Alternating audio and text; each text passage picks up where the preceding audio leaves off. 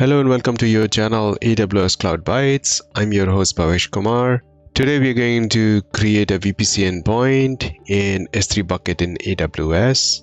If you like these videos, please like, share, subscribe, and click the notification bell icon for future updates. Your comments are welcome for making these interactions better.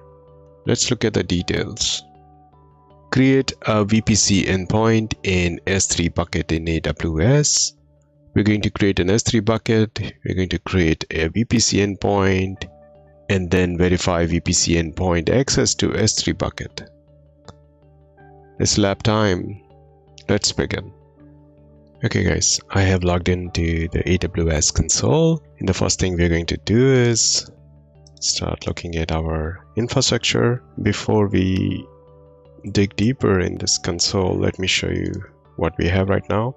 This is a depiction of what we have in our AWS console. There is a AWS region. We have one VPC in a single zone. We have a private subnet. We have a public subnet. Both the subnets, they have a instance. One is in private subnet, private EC2 instance, public subnet. There is a NAT gateway in the public subnet. There is a main route table and then there is a private route table the main route table has uh, internet gateway access from which you can go and access S3 bucket. Now for the private, we can go through a VPC endpoint, which we haven't created yet, and do the same access. The benefit of this is the internet gateway will take this data or the, the content that will flow between the bucket in your EC2 instance on public cloud while any data flowing through a VPC endpoint is going through AWS network which means it is going through AWS data centers in the routes that AWS own. So it is more secure than a public network and that's why it is preferable. Not only that, it will have much more uh, efficient way to reach data and it will be much more secure as I already mentioned. Let's go back to the EC2 uh, console that we opened. So we can see there are two instances running. Let's look at both the instances. This instance has a public IP address. Let me rename this to public for ease of reference.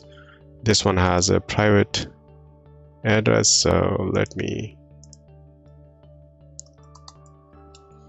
make it private. So you have seen the two EC2 instances. Let's go back to this. Let me open S3 I'm gonna create a S3 bucket. We already have a S3 bucket but let me create another one for this lab and we can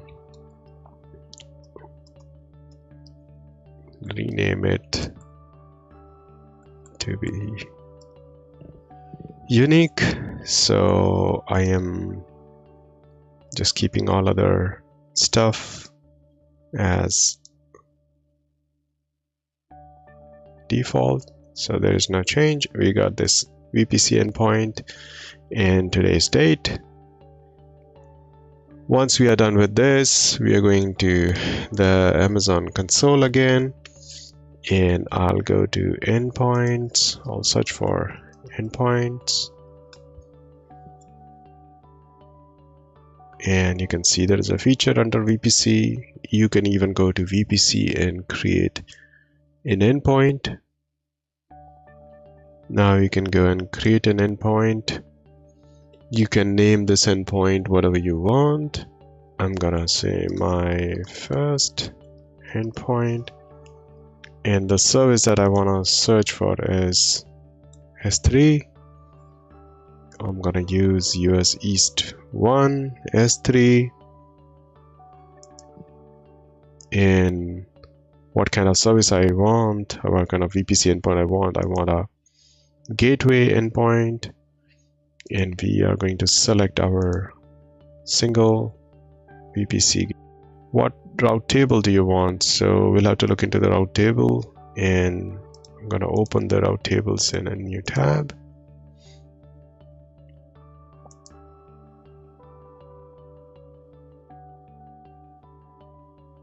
Okay looking at this route table if you look at the routes it has a local route it has an internet gateway route which means this is a public route table.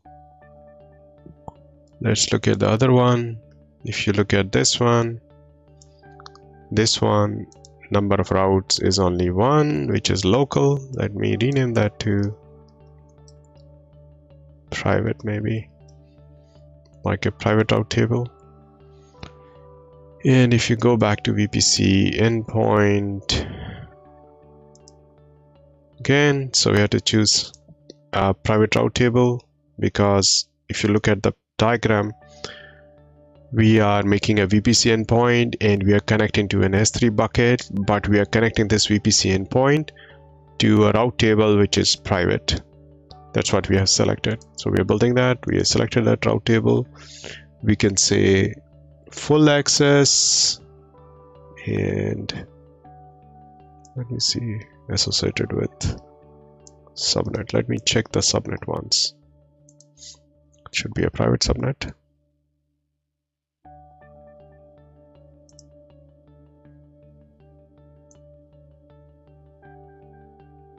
so if we look at two subnets that we have in this VPC and you can see this private route table is also associated with that 452 subnet. And this is public in nature. So let's come back to this. We'll not create any custom policy give it full access you should not do that for any kind of production use and I'm gonna create a endpoint.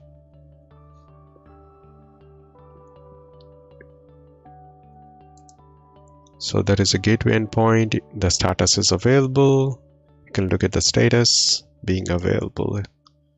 And if you look at the route table this private route table which we already have over here if I refresh this you should see additional route for VPC endpoint populated as part of our actions of creating a VPC endpoint. So this wasn't there. This is VPC is for endpoint and then there is a number. Once we have this, how do I verify that VPC endpoint is working? Which means I want to see that I can access S3 bucket from using the private EC2 instance and the traffic should go through a VPC endpoint to access S3 bucket. In the other case, it is going through uh, internet gateway, which means all traffic will flow through this, through internet gateway, through public internet to S3 bucket. Let me open a terminal to SSH to the public instance and then the private instance. So I open this terminal. Now I will do an SSH cloud underscore user.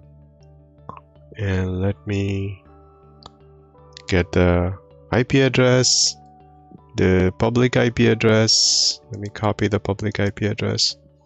Public IP address of this EC2 you have this EC2 this public IP address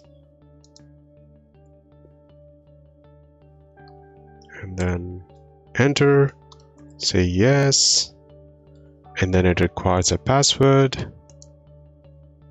Let me copy and paste the password.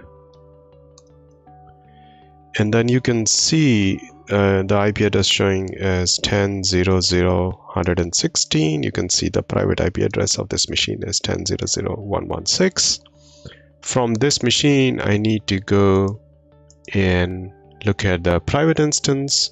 So I will do an SSH and again cloud underscore user at I'll go to the private IP address and paste that. Again yes and then I will have my password to that machine something pressed. So if you look at the private IP address and look at the terminal both of them are showing the same 10.0.1.57 and now what I can do is I can do AWS S3 ls sorry s3 ls it should show me two buckets. One was already created. This one vpc endpoint 2022 1225 we created this bucket. You can see this picture. I first logged into this machine using ssh i did another ssh from this machine to the private instance and then from the private instance I did uh, AWS S3 LS which means S3 listing.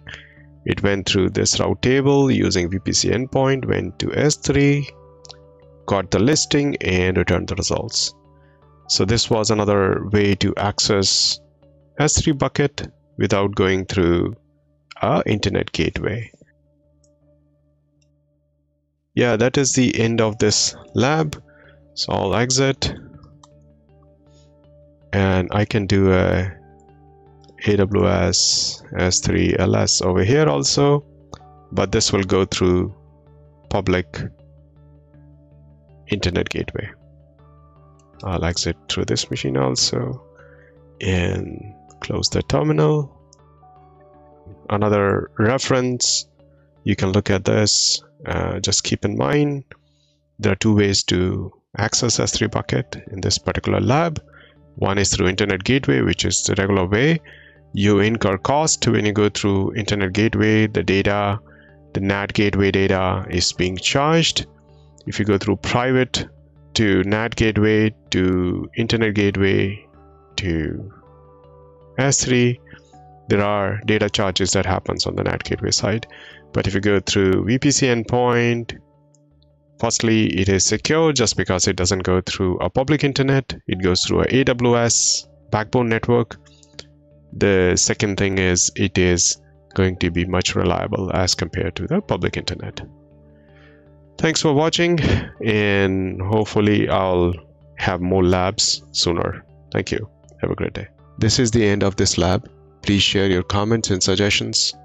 Thank you for watching. If you liked the video, Please like, share, subscribe, and press the notification bell icon for future updates. This is your host, Bhawesh Kumar signing off. Thank you.